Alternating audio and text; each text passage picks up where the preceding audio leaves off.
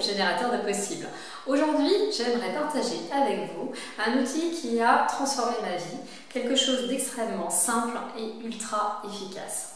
Cet outil en fait va surtout concerner les gens qui ont envie d'exprimer leur amour ou qui ne savent pas comment l'adresser à des personnes qui ont un petit peu de mal à réceptionner ce type de message parce que certains d'entre vous sont parfois euh, moins démonstratifs.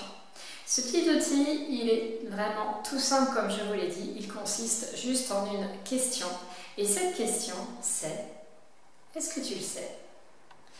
Cette question, elle est à adresser à quelqu'un que vous aimez. Le principe, en fait, ce qui est sous-entendu derrière cette question, c'est est-ce que tu sais que je t'aime? Pourquoi on ne la pose pas en totalité? C'est simplement pour éviter justement l'expression directe d'un sentiment, je t'aime, qui pour certains n'est soit pas facile à dire, soit pas facile à entendre, comme je vous le disais tout à l'heure.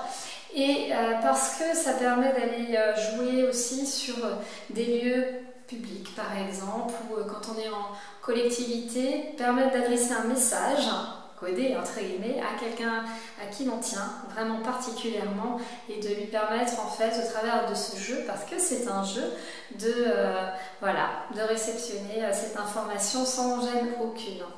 Maintenant pour vous raconter vraiment jusqu'au bout comment ça a changé ma vie il y a quelqu'un avec qui, qui m'est vraiment très très proche, avec qui un jour je suis allée le voir en, lui disant écoute, euh, euh, est-ce que tu le sais? Et la personne a commencé par me faire euh, voilà, encore un peu les bras. Et, et, en fait, voilà, du coup, la réponse a été très fluide. Je t'aime. C'était à moi de lui dire que la réponse à cette question c'était ça. La deuxième fois, ce qui est intéressant, c'est est-ce que tu le sais? Et là, on a eu un... Oui, je le sais. Tu sais quoi? Voilà, on entend les ours qui grognent quand c'est comme ça, mais le message est passé. Et puis la troisième fois, il y a eu un... Est-ce que tu le sais? Et la personne a dit... Euh, oui, oui, je le sais. Genre, ça fait 15 fois que tu me le dis, je le sais. Euh, ce qui est intéressant, c'est qu'à la quatrième, cette même personne m'a fait donc il y a la même question, est-ce que tu le sais Et sa réponse a été oui, moi aussi je t'aime.